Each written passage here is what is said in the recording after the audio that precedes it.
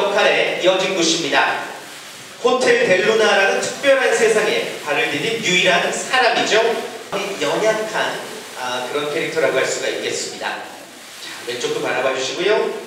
어, 범상치 않은 반전 캐릭터까지 굉장히 기대가 됩니다. 최고의 연기력을 가진 구찬성 역할의 여진구 씨였습니다.